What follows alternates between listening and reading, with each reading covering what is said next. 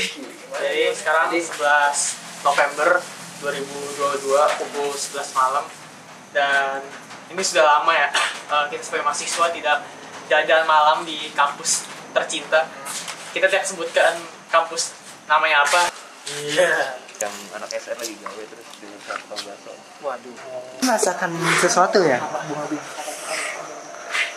Ada,